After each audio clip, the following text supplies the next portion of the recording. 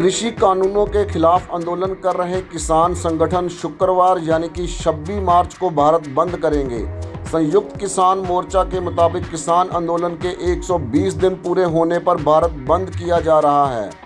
हज़ारों की संख्या में किसान दिल्ली की सीमाओं पर नए कृषि कानूनों के खिलाफ प्रदर्शन कर रहे हैं। कांग्रेस लेफ़्ट समेत कई विपक्षी दलों ने बंद का समर्थन किया है। किसान संगठनों ने ऐलान किया है कि 28 मार्च को वह हेलका दहन पर नए कानूनों की प्रतियाँ जलाएँगे। 26 मार्च को भारत बंद के दौरान 12 घंटे के लिए देश में क्या खुला रहेगा और क्या बंद आइए जानते हैं। भारत बंद कब और कितने समय के लिए है? किसान संगठनों का भारत बंद 26 मार्च 2021 की सुबह 6 बजे से शाम छह बजे तक रहेगा।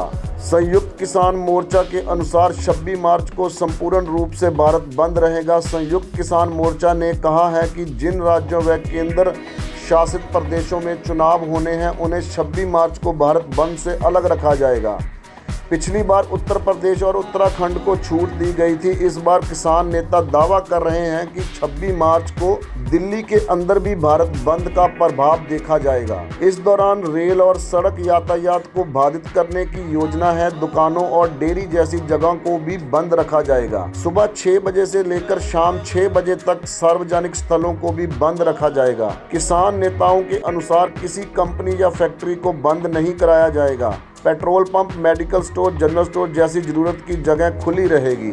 26 जनवरी के दिन दिल्ली में हुई हिंसा के कुछ दिन बाद ही चक्का जाम की घोषणा की गई थी। हालाँकि गाजीपुर बॉर्डर पर आंदोलन का नेतृत्व कर रहे राकेश टिकैत ने किसान नेता बलबीर सिंह राजेवाल के साथ बैठक की। उसके बाद ये कहा गया कि उत्तर प्रदेश और उत्तराखंड में ऐसा नहीं किया जाएगा। पिछली बार असर